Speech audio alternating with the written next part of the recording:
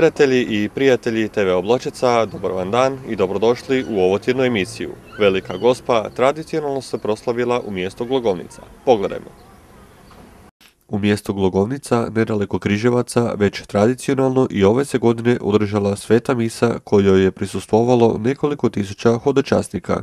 Svete mise održale su se u 9, 11 i 17 sati, a u međuvremenu su se mještani Glogovnice pobrinuli zabaviti hodočasnike na razne načine, izložbom, sportskim događanjima te društveno-zabavnim programom. Pa crkva uznesenja Blažne djevice Marije u Glogovnici je jedna od najstarijih u sjeverozapadnoj Hrvatskoj i sigurno da je dugogodišnja tradicija vjekovima da su ljudi hodočastili 15. gospak na velikog gospu u Glogovnicu i sigurno da to kroz vijekove se razvilo na način kako je to bilo primjereno tom vremenu. Evo ovo vrijeme, znači 2014. bila su brojna događanja e, u Glogovnici, znači od mise i misnog slavlja u 9 sati pa bilo u 11. Predvodio ga je dekan e, Svetog Ivana Zeline uz dekana našeg Kriševačkog i domaćeg župnika gospodina Črneka.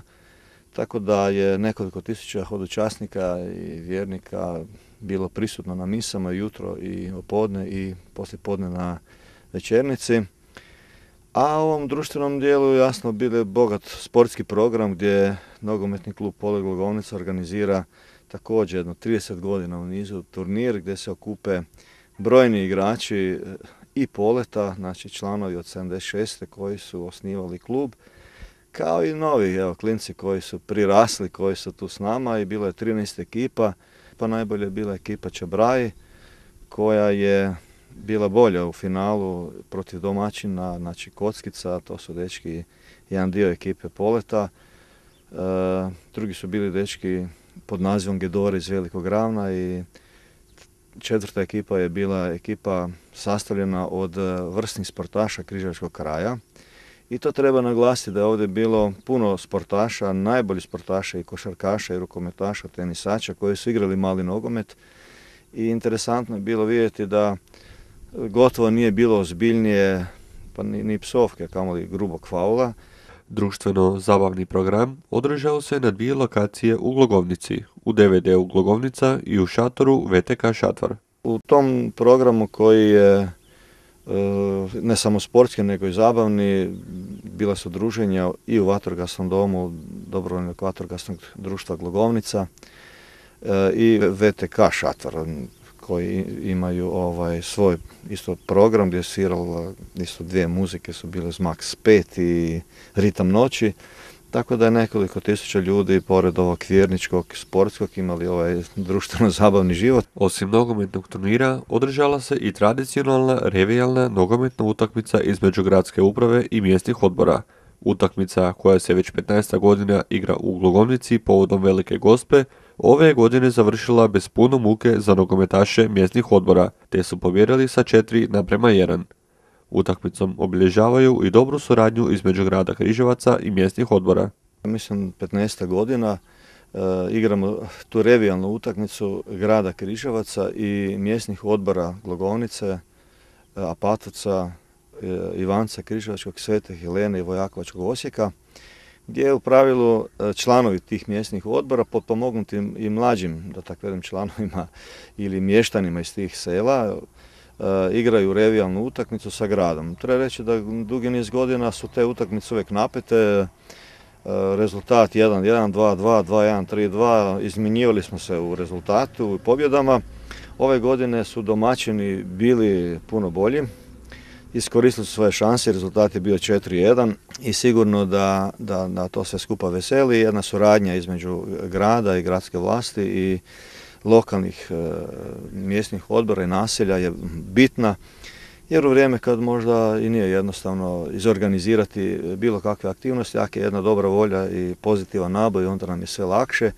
Organizatori su i ove godine vrlo zadovoljni brojem hodočasnika i cjelokupnom organizacijom. Smatraju kako ima prostora da mladi naraštaj još prošire događaje i organizaciju, te da blagdan Velike Gospe u Glogovnici ima budućnost. Ja se nadam da ove kako da velim, zrele generacije ljudi i ovi mladost koja tu je, ima prostora za nastavak jedne jednog rada, zašto ne kao u Mari Bistrici, zašto ne kao nekim drugim većim svetištima.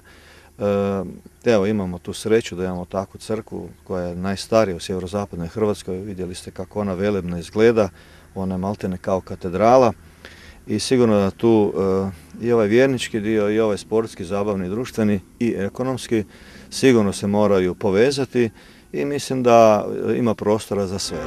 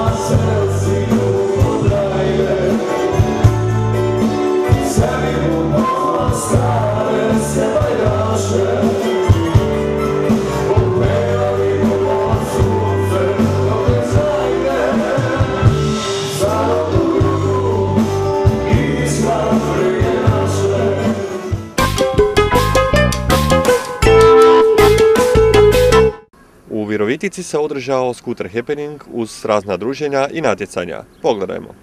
U Virovitici se prošle nedjelje održao moto happening skutera, a u sklopu toga i moto utrka i tri kategorije skutera, klasa 50, 70 i no limit klase.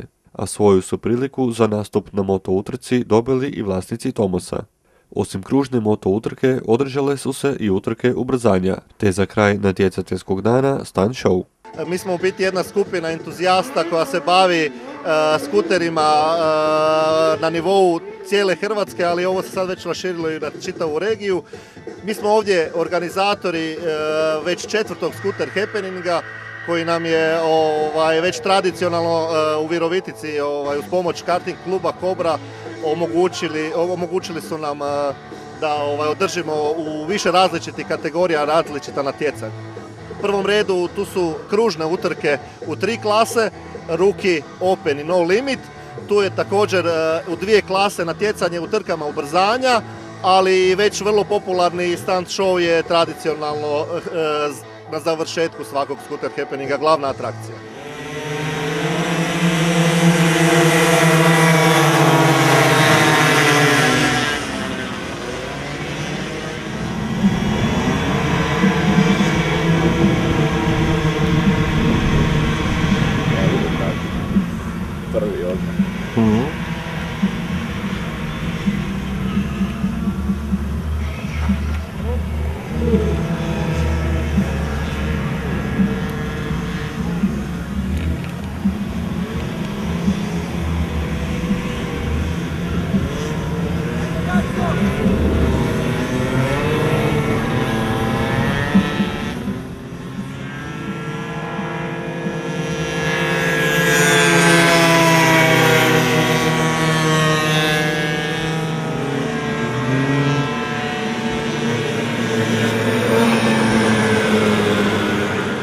Klasi do 50 kubika pobjedio je Mario Mostečak. Open klasu odnio je Dario Dumančić, dok je u najjačoj klasi, klasi No Limit, pobjedio Luka Sadrić, a pratio ga je Žolt Valkaj na drugom mjestu. Pa u ovom trenutku ne znam napamet sve rezultate jer je bilo puno natjecanja, ali već sada znam da je recimo Milan Tošić, naš gost iz Srbije, osvojio ponovo za drugi put za redom stunt show. Mislim e, da je naš Luka Sadrić ponovo osvojio najjačoj klasi u kružnim utrkama natjecanje. E, puno slovenskih gostiju koji su vozili ove godine trke ubrzanja su uzeli e, neka dobra mjesta. Sad evo ne znam točno na pamet, ali znam da su u klasi do 70 bili najbolji. Ne mogu se sad sjetiti točno imena.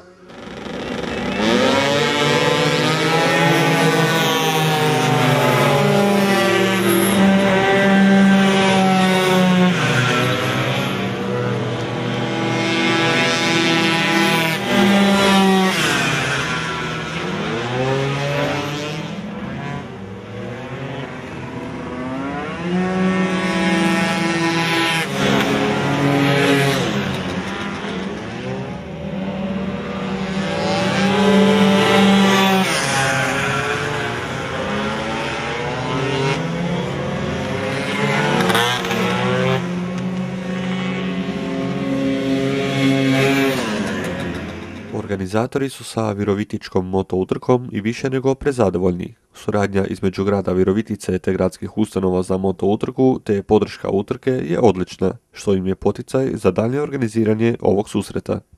Ovo je nešto fenomenalno. Ja moram reći da se ovdje osjećam već kao kod kuće. E, karting klub Kobra nam omogućio nevjerovatno dobre uvjete. E, u suradnji sa gradom, sa policijom smo postigli odličnu suradnju. E, tu je i podrška od ljudi, od, vidim da su stvarno svi zadovoljni i mi se ovdje stvarno osjećamo kao doma.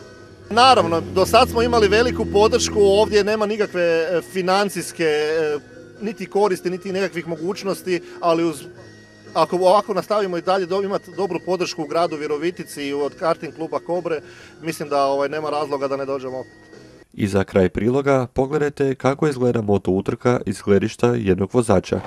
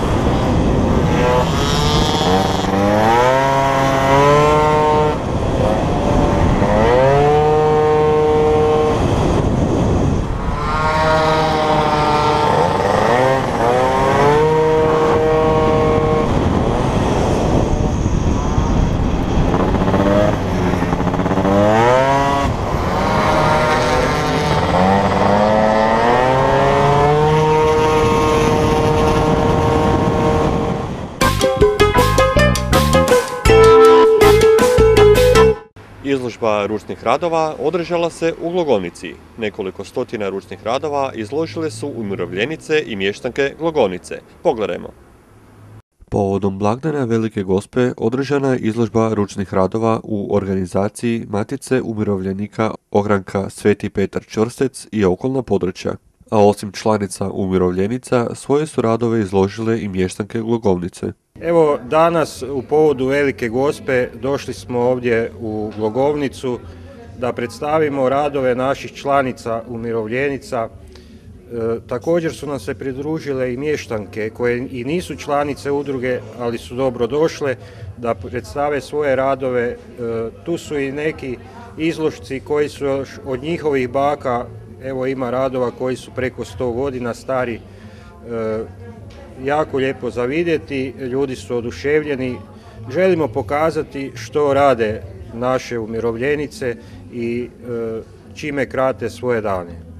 Na izložbi je bilo izloženo nekoliko stotina radova čiju je vrijednost teško i procijeniti, ali to su svakako vrlo vrijedni predmeti. Što se sve nalazilo na ovoj izložbi, pogledajte i poslušajte u nastavku.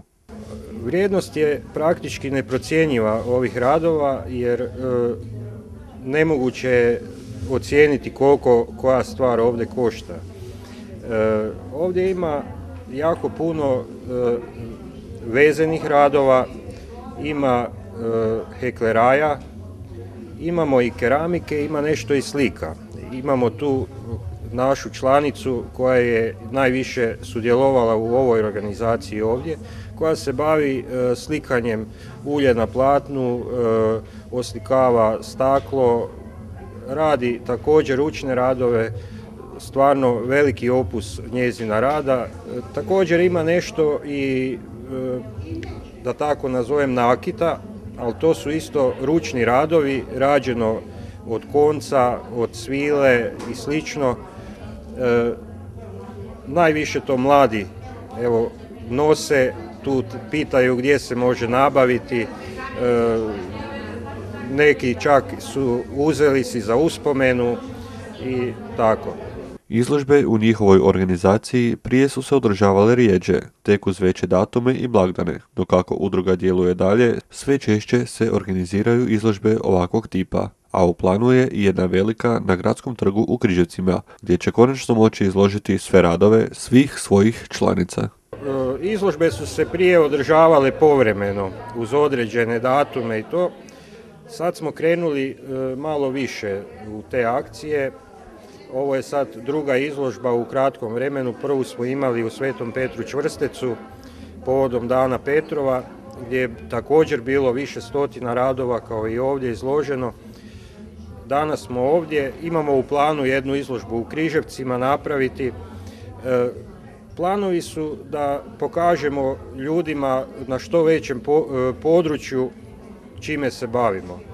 Naši članice se bave i sportom, imamo razne sekcije u svojoj udruzi, ali evo, e, prilika je ovakva gdje su neki blagdani, gdje se obilježavaju sveci, da pokažemo ovaj dio. E, ostale dijelove e, svojih, da tako kažem, aktivnosti prikazat ćemo u Križevcima, u prostoru naše udruge imamo u planu također jednu izložbu gdje će biti i naše slikarice, Vidjet ćemo kako ćemo stajati sa, da tako kažem, i financijskim sredstvima, ali nastojat ćemo čim više organizirati i čim više približiti ljudima našu udrugu.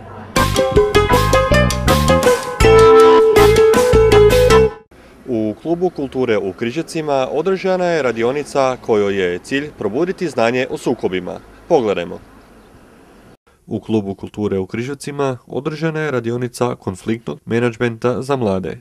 Radionica je namijenjena prije svega mladima koji žele produbiti svoje znanje o sukobima i kako iz njih nenasilnim putem izvući ono najbolje. A kako je sve počelo, poslušajte u nastavku. E, iz organizacije e, koja je proizašla iz na seminaru u Sarajevu, e, Values of Peace, koju organizira Balkan Let's Get Up, nevladina organizacija, sa sjedištem u Srbiji e, i uključuje sve zemlje Balkana i imaju teme na e, ekološke i e, etničke i bave se sa civilnim društvom, održivim razvojem i tako smo mi imali tu taj seminar Values of Peace na kojem smo dobivali projektne ideje. Moja ideja za projekt je bila ova radionica zato što smatram da mladi ulaze u sukobe i e, ne rješavaju ih na dobar način i mislim da će im ova radionica u tome pomoći.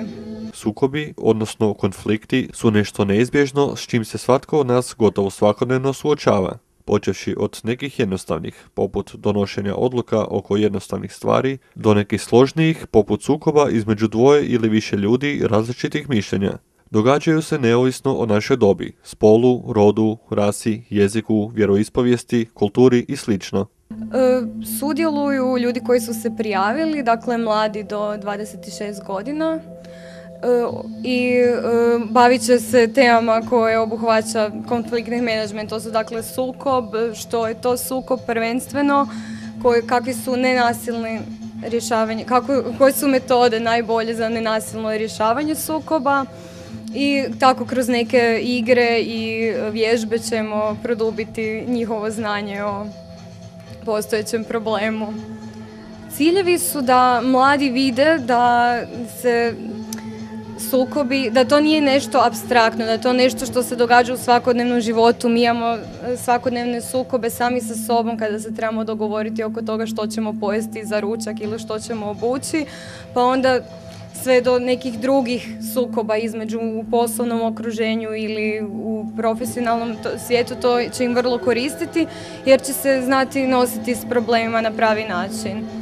Ovo je prva radionica ovakvog tipa, a u planu su još dvije radionice koje će se održati u Koprivnici i Zagrebu. Bitno je spomenuti da svi sudionici aktivno sudjeluju te na kraju radionice iznose povratnu informaciju o tome kako su doživjeli radionicu te koliko im znači stručno savjetovanje i pomoć sa problemom u sukobljavanju. E, meni to puno znači i zato sam se i odlučila za ovu radionicu i smatram, zapravo to je moja nada, ali to ćemo vidjeti na kraju radionice kako su e, sudionici bili zadovoljni s, njom, pa jer na kraju imam povratnu informaciju od njih ću primiti, pa će mi koristiti za sljedeće jer je ovo prva od radionica, a još će biti jedna u Zagrebu u Etnografskom muzeju 30. kolovoza e, a i sljedeća će biti u Koprivnici 13. rujna. Tako da je ovo prva s kojom se otvara nenasilno rješavanje sukoba. Iako su u sklopu projekta predviđene tri radionice, voditeljica projekta ne isključuje mogućnost nastavka organiziranja radionice i u drugim gradovima, ukoliko će biti interesa i dobrog odaziva, te će se na taj način rješavati problem sa sukobom. E, moguće da se to nastavi, iako u sklopu mojeg projekta su zamišljene tri. Ako će biti velik odaziv na sljedeće dvije, bez problema bih e, bila voljna napraviti još koju.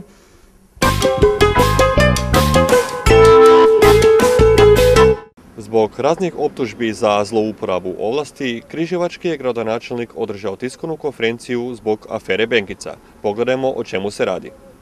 U četvrtak 21. kolovoza 2014. godine održana je konferencija za novinare vezana na temu rodinih naknada na kojoj je gradonačelnik Branko Hrg zajedno sa svojim zamjenikom Ivanom Vukom te pročelnicima odgovorio na optužbe pa čak i prijavu Dorhu, kojima se u posljednje vrijeme služi oporba.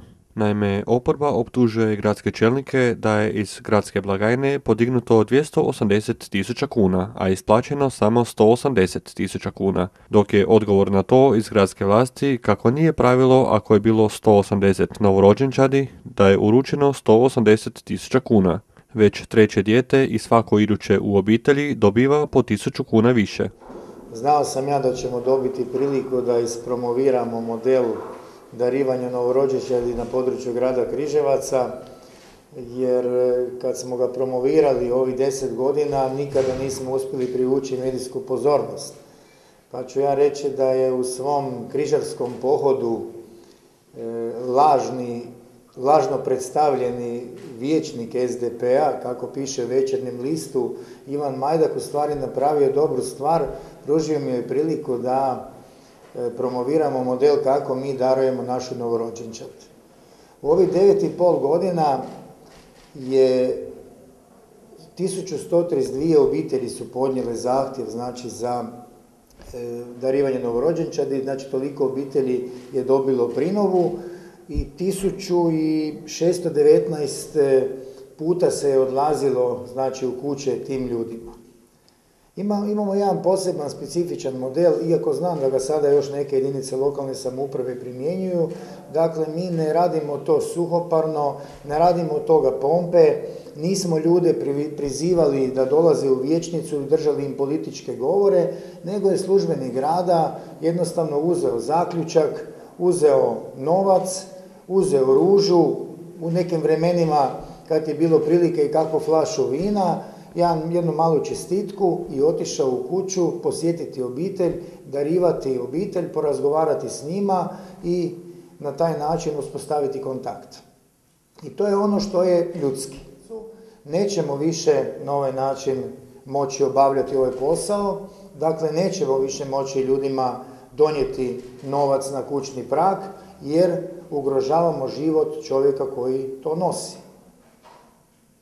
Ne možemo to više raditi. Zbog sigurnosti gospodina Vuka, čovjeka koji je u ovih deset godina, znači 1619 puta obišao obitelji na području grada Križevaca, često puta vikendom, često puta na selo vikendom dok je trebalo nešto raditi, po mjesnim odborima, po vatrogascima, često puta u popodnevnim satima noseći darove za djecu, cijeli dan hodajući okolo, često puta sa vlastitim autom, bez ikakve naknade. Danas se takvog čovjeka proziva i povlači po prašini i baca na njega blato. Dakle, i dalje će se dolaziti k ljudima, samo što će ljudi morati novac ili doći podići na gradskoj blagajni, ili će dati žiro račun, što već imaju mogućnost ili tekući ukoliko žele da im se prebaci na žiro račun. Od 2001. godine vodstvo grada provodi politiku neposrednog kontakta sa građanima. Razlog podjele dara za rodilje po obiteljima je i taj da je lakše jednom zaposleniku grada doći k ljudima u ulicu ili selo nego građanima u gradske urede. U vremenu kada je velik broj računa građana u minusu ili blokadi, nastojalo se da dar za dijete dođe u ruke roditelja, kako bi ga mogli koristiti baš za tu namjenu. Svaka isplata koja je podignuta na blagajni grada Križevaca je potvrđena primitkom od strane onoga tko je primio. Dakle, postoji uredna dokumentacija, nama svake godine dolazi revizija, nikada nije bilo primitbi na to. Ja pozivam da odvjetništvo kojem smo prijavljeni dođe što prije, da napravi istragu. Žao mi je, žao mi je i bit će mi žao ako će se u to umiješati pojedini roditelji u tom postupku, ako će ih nešto nešto pitati, ali kada to sve završi, ja znam da će završiti čisto, sigurno da ću pokrenuti sve moguće radnje koje su zakonom dozvoljene, e, da li tužbom, da li prijavom protiv gospodina Majdaka koji je izazvao ovako ružnu stvar. Ovo je sve čisto, ovo je ružno, ovo je jedan vid jedne ružne političke borbe, tako se politički ne bori. Šljivarijada se iduće nedjelje održava u Drobkovcu. Pogledajmo kako teku pripreme. U mjestu Dropkovec, nedaleko Križevaca, iduće se nedjelje po sedmi puta za redom održava manifestacija pod nazivom Šljivarijada. Manifestaciju organizira udruga Plava krv te dobrovoljno vatrogasno društvo Dropkovec, a temelji se na priči o kralju Bela IV. koje je dao povelju Dropkovcu za njihove šljive. Prvi cilj je bil da osnujemo, kad smo osnovali plavu krv, to je da se e, znači naša mladež bavi sportom. Zatim smo krenuli na kulturno i gospodarski dio. Kulturni dio je upravo ovo što se spominje prije 7 godina kad smo krenuli sa šljivarijadom, a to je da je ipak na ovim prostorima neka djelovao kralj Bela i prema narodnim predanjima mi smo e, evo uspjeli ga preko šljiva spasiti mu, e, prehraniti ga, a on je za uzrad dao ti jednosel, jednoselcima je dao plemstvo i onda su ti ljudi ipak bili oslobođeni ovih svih godina plaćanja nekih dađbina, pa su onda mogli evo upravo na neke druge stvari se obratiti, a ova crkva koja je za nas, upravo su oni to gradili jer nisu trebali porez, pa su išli onda se zahvaliti na taj način da su evo takve kulturne znamenitosti gradili. E, što se tiče gospodarstva, ima razmišljanja plava krv i sljedeće da upravo preko šljive e, da pošto je i povijesna, ali da onda i danas u gospodarstvo ubacimo, a to su proizvodi od šljiva i možda recimo rakija, pekmesi, džemovi i ostali proizvodi. E, također nam je želja da još i to sve povežemo jer je šljiva zaista hranila ovaj kraj da povežemo sa starim jelima i to baš ona jela gdje E, gdje se šljiva umeće u ta jela i gdje su vrlo ukusna i mislim da to treba njegovati tradiciju. U vrlo bogat i lijepi program ekipa TV Obločica uvjerila se i prošle godine. Ove godine sve posjetitelje očekuje još širi te bogatiji program, a na šljivarijadi će se naći za svakoga ponešto. Od sportskih događaja, kulturno-umjetničkog programa, pjesničkog programa, natjecateljskog dijela proizvoda od šljiva, te naravno društveno-zabavni program do kasno u noć. Pa evo ovako, e, sportska udruga Plava krv je odlučila ove godine program pokrenuti u dva dana, e, s tim da će početak e, programa, početak šljivarijade krenuti 29. u petak gdje ćemo krenuti sa ocjenjivanjem, sa ocjenjivanjem rakije šljivovice gdje će biti profesionalni kušači i ovim putem molim sve ovaj zainteresirane koji imaju rakiju šljivovicu, da ju mogu donijeti u Dropkovec na kušanje i ja vjerujem da će e, imati jedno dobro iskustvo gdje će naši e, kušači moći reći e, proizvođačima koja im je kvaliteta rakije, kak, na koji način mogu poboljšati svoje proizvode da bi danas sutra mogli biti eventualno i konkurentni na tržištu.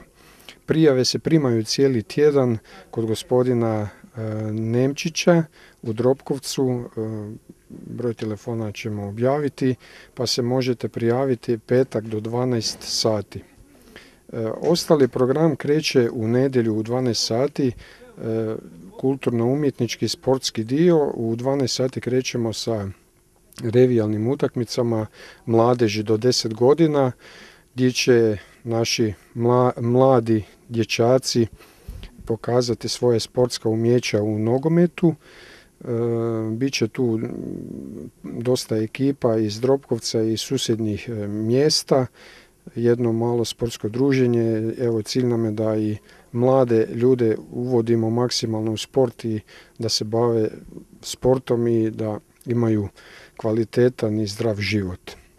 Nakon toga u 4 sata popodne, u 16 sati krećemo sa kulturno-umjetničkim programom gdje ćemo proglasiti najbolju šljivovicu, dodijeliti nagrade za najbolje rakije, prva tri mjesta, priznanja i nakon, e, nakon dodjele kreće program, e, jedan vrlo bogati program gdje će nam gostovati ansambl iz Sesvetskih sela sa nekoliko nastupa, pa će gostovati i pjesnici e, iz Križevaca i naravno još će tu biti raznih događanja na, na pozornici.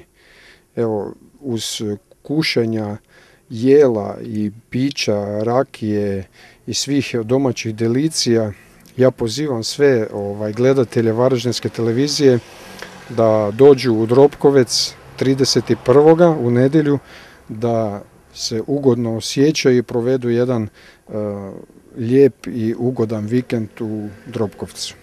I za kraj pozivamo sve gledatelje TV Bločeca da se pridruže i orazovu pozivu na šljivarijadu. Kušajte kvalitetne proizvode od šljive i vrlo ugodno se zabavite. A ako ste pak u mogućnosti predstaviti svoje proizvode, predmete ili starine ili možda predstaviti svoju udrugu, također ste dobrodošli u Dropkovec 31. kolovoza.